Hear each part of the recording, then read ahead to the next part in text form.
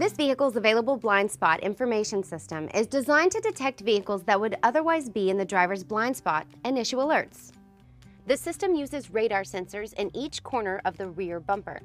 They scan an area roughly 10 feet out from the sides of the vehicle and about 15 feet back from the rear edge of the front doors.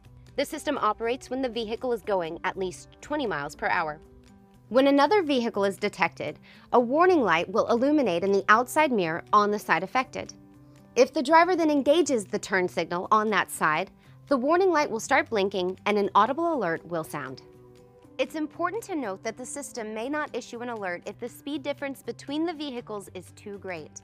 Plus, not all objects will be detected by the sensors. As always, the driver is responsible to visually confirm that it's safe to change lanes. To customize the system's operations, select the settings menu from the display audio home screen. Then choose Vehicle. Touch Driver Assist System Setup, then Blind Spot Info. You can then choose Audible and Visual Alert, Visual Alert only, or you can select Off to disable the system.